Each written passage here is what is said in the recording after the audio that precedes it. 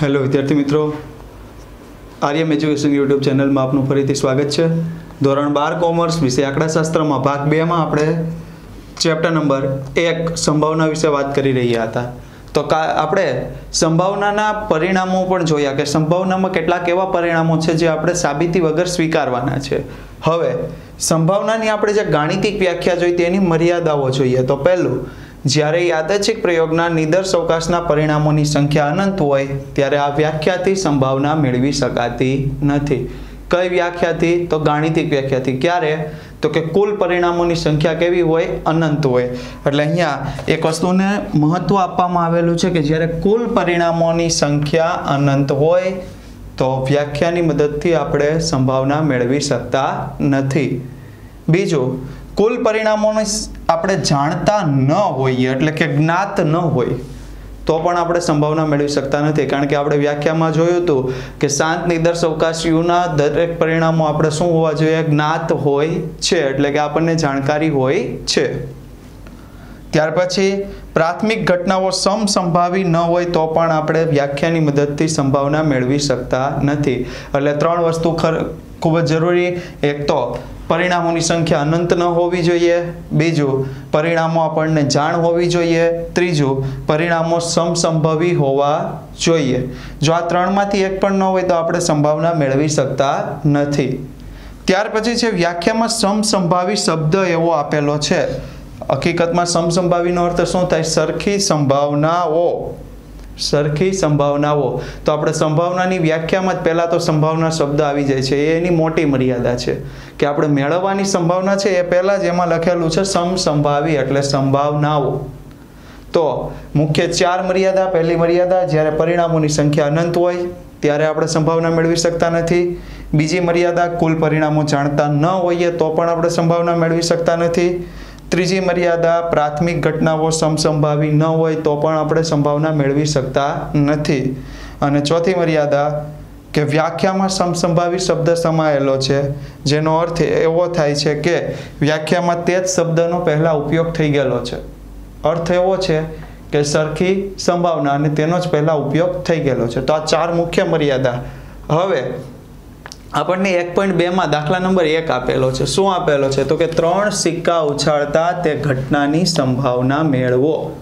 કઈ ઘટના? તો નીચે આપણને એક એક કરીને ઘટનાઓ આપેલી છે.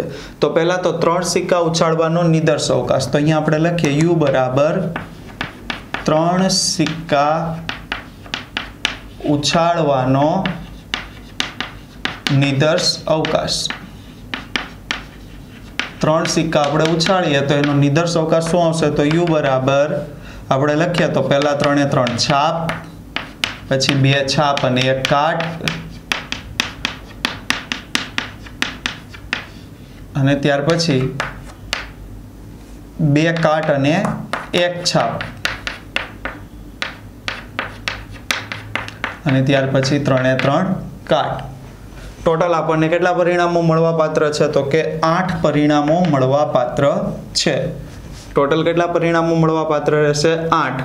હવે આપણે એક એક કરીને ઘટનાઓ નોંધતા જઈએ. પહેલું ઘટના એ, બધી જ વખત શું મળે? બધી જ વખત છાપ મળે. ઘટના એ, બધી જ વખત છાપ મળે. તો એને સાનુકૂળ પરિણામો? તો એના પરિણામો કેટલા આવશે? તો કે એને સાનુકૂળ પરિણામો બધી જ વખત છાપ મળે, એટલે એક જ પરિણામ એચ એચ એચ તો એમ બરાબર કેટલા આવશે? એક. તો પી ઓફ એ બરાબર કેટલા થશે? તો કે એમના છેદમાં એન બરાબર એકના છેદમાં આઠ. કારણ કે આપણે એમ એક એન આઠ, એટલે એકના છેદમાં આઠ બધી જ વખત છાપ મળે. ત્યાર પછી બીજું છે. શું આપ્યું છે? તો કે એક પણ વખત છાપ ન મળે. એને આપણે કઈ ઘટના લઈશું? ઘટના બી. એક પણ વખત છાપ ન મળે. હવે એક પણ વખત છાપ ન મળે એટલે બધી જ વખત શું મળવી જોઈએ? કાટ મળવી જોઈએ. તો કાટ માટે આપણે લખીએ તો બી બરાબર શું આવશે? T T T. અને બધી જ વખત કાટ મળે એટલે એમ બરાબર કેટલા આવશે? એક. તો પી ઓફ બી બરાબર એમના છેદમાં એન બરાબર એકના છેદમાં આઠ. ટીટીટી એટલે એમના છેદમાં એન બરાબર એકના છેદમાં આઠ. બધી જ વખત શું મળે? કાટ. આગળ આપણે ગણતરી કરીએ તો ત્રીજું આપણને આપ્યું છે ઓછામાં ઓછી એક વખત છાપ મળે. ઘટના આપણે બદલાવતા રહીશું. ઘટના સી લઈશું. બરાબર? ઓછામાં ઓછી એક છાપ મળે. ઓછામાં ઓછી એક છાપ મળે. એટલે એકથી વધુ મળે તો ચાલે, પણ એકથી ઓછી મળવી જોઈએ નહીં. તો એકથી વધુ એટલે ત્રણ, બે બે બે. એક એક એક. પણ ત્રણેય વખત કાટ મળે એ ચાલશે નહીં. ત્રણેય વખત કાટ મળે તો એમાં એક પણ વખત છાપ આવતી નથી ને એક કે તેથી વધુ આપણે છાપ લેવાની હોય છે. તો સી બરાબર શું આવશે? તો કે H H H H H T H T H T H H T H T H T H T T એટલે એમ બરાબર કેટલા આવ્યા? સાત. એમ બરાબર કેટલા આવ્યા? સાત. તો પી ઓફ બી સી બરાબર એમના છેદમાં એન બરાબર સાતના છેદમાં આઠ. તો જો અહીંયા ધ્યાન આપો તો ઘટના એ, એટલે બધી જ વખત છાપ મળે. એકના છેદમાં આઠ, ઘટના બી એક પણ વખત છાપ ન મળે, પણ એકના છેદમાં આઠ. પણ ઓછામાં ઓછી એક છાપ મળે કેટલા આવશે? સાતના છેદમાં આઠ. કારણ કે સાત પરિણામ એવા છે કે જેમાં એક કે એકથી વધુ છાપ મળે છે. ત્યાર પછી ચોથું વાત કરીએ તો શું આપેલું છે? તો ચોથામાં ધ્યાન આપો તો એકથી વધુ વખત કાંટો મળે. ઘટના ડી એકથી વધુ વખત કાંટો મળે. હવે જો અહીંયા ધ્યાન આપો. એકથી વધુ કીધું એટલે એક હોય તો લેવાનું? નહીં.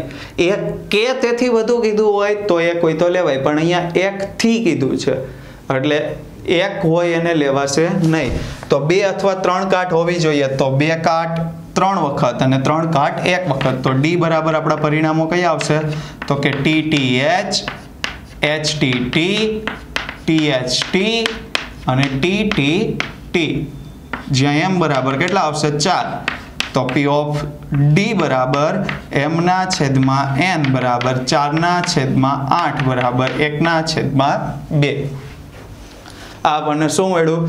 એકથી વધુ વખત કાટ મળે. ત્યાર પછી આપણને શું કીધું છે? વધુમાં વધુ એક છાપ મળે. કઈ ઘટના કીધી છે? પાંચમી. ઘટના ઈ વધુમાં વધુ એક છાપ મળે. હવે જો વધુમાં વધુ એક છાપ મળે, તો ઈ બરાબર એકથી વધુ છાપ મળવી જોઈએ નહીં. તો એકથી ઓછી મળે તો ચાલે? હા, એકથી ઓછી એટલે ઝીરો મળે તો પણ ચાલી શકે. તો આ જ પરિણામ આવશે. બે, અહીંયા એક એક એક. ત્રણેયમાં એક એક વખત છાપ છે. જ્યારે અહીંયા કોઈ છાપ છે નહીં. એટલે પરિણામ આપણે શું થશે તો કે T T H T H T H T T અને ટી ટી ટી. તો કુલ પરિણામો આપણને એમ બરાબર કેટલા થઈ ગયા? તો કે ચાર. તો પી ઓફ ઈ બરાબર કેટલા મળશે? તો કે એમના છેદમાં એન બરાબર ચારના છેદમાં આઠ બરાબર એકના છેદમાં બે. આ શું મળ્યું? એકથી વધુમાં વધુ એક છાપ મળે. હવે ચોથું સોરી છઠ્ઠો. શું આવ્યું છે? તો ઘટના આપણે લઈશું. ઈ પછી કઈ ઘટના આવશે? એફ ઘટના એફ શું આવશે? તો કે બેથી ઓછી વખત છાપ મળે. બેથી ઓછી વખત છાપ મળે. હવે બેથી ઓછી. બેથી ઓછી એટલે કેટલા થશે? ઝીરો એક ઝીરો એક. બે તો લેવાના નથી, કારણ કે બે કે તેથી ઓછી આપેલું નથી એટલા માટે. તો એફ બરાબર આપણા માટે પરિણામો કયા આવશે? તો કે ઝીરો અથવા એક છાપ. તો આ જ પરિણામ થશે. તો શું આવશે? T T H T H T H T T અને ટી ટી ટી ટોટલ આટલા પરિણામો આપણા માટે એવા થશે કે જેમાં બેથી ઓછી વખત શું મળે છે? છાપ મળે છે. તો એમ બરાબર આપણા કુલ પરિણામો ચાર. પી ઓફ એફ બરાબર એમના છેદમાં એન, ચારના છેદમાં આઠ બરાબર એકના છેદમાં બે. ત્યાર પછી આપણને કઈ ઘટના કીધી છે? તો ઘટના એવી આપી છે, છાપ અને કાટ વારા ફરતી મળે. એટલે એક વખત છાપ આવે તો પછી શું આવવું જોઈએ? કાટ. તો ઘટના જી બરાબર છાપ અને કાટ વારા ફરતી મળે.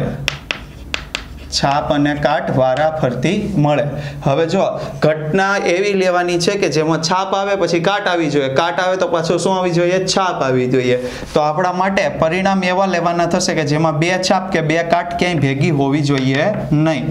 તો અહીંયા એક પરિણામ એવું છે. જો અહીંયા ધ્યાન આપો તો અહીંયા ત્રણે ત્રણ છાપ ભેગા છે એટલે એ લેવાશે નહીં. અહીંયા બે છાપ ભેગી લેવાશે નહીં, પણ આ લેવાશે એચ ટી એચ કારણ કે અહીંયા શું છે? છાપ, કાટ, છાપ. ફરી એક પરિણામ એવું છે ટી એચ ટી કાટ, છાપ, કાટ એટલે ટી એચ ટી તો કુલ પરિણામ કેટલા થઈ ગયા? બે. તો પી ઓફ ઝી બરાબર શું આવશે? તો કે એમના છેદમાં એન બરાબર બેના છેદમાં આઠ બરાબર કેટલા થશે? એકના છેદમાં ચાર. હવે આઠમું આપણને શું કીધું છે? કાંટાની સંખ્યા છાપ કરતા વધુ વખત મળે. ઘટના કઈ લઈશું? તો ઘટના એચ કાંટાની સંખ્યા છાપ કરતા વધુ મળે.